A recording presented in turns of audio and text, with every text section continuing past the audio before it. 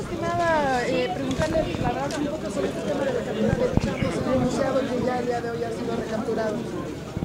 Tenemos un presidente de la República con agallas, un político comprometido con el Estado de Derecho, con la legalidad y con el combate eficaz a la impunidad.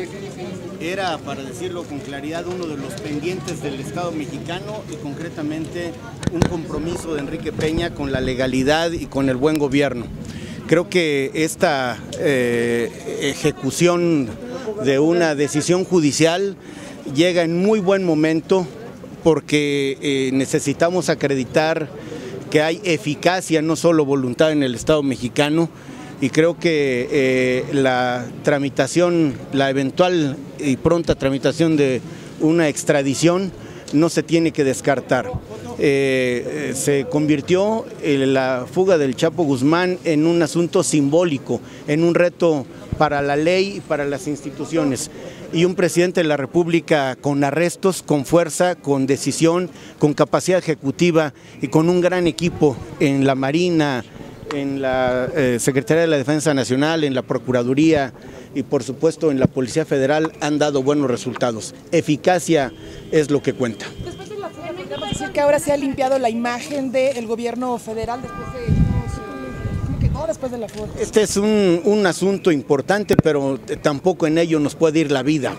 Eh, México tiene retos de la más diversa naturaleza, algunos eh, de carácter económico a los que se le está haciendo frente con eficacia y con actitud resuelta.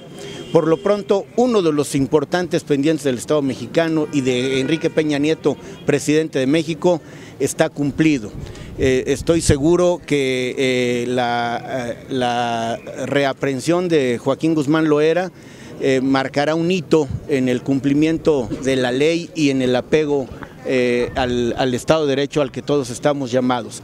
Pero hay un sinnúmero de asuntos pendientes y a todos les hará frente en materia de seguridad y justicia el gobierno de Enrique Peña Nieto y para ello contará con eh, la actitud eh, decisiva, solidaria, de, del Congreso de la Unión, especialmente de la Cámara de Diputados, en donde tenemos claras las prioridades. Sabemos que atender temas relacionados con seguridad y justicia para alcanzar la paz, para acabar de eh, consolidar el crecimiento económico, para combatir con eficacia la corrupción, son asuntos de la agenda ciudadana a los que vamos a atender eh, en combinación, en coordinación fraterna con Enrique Peña Nieto.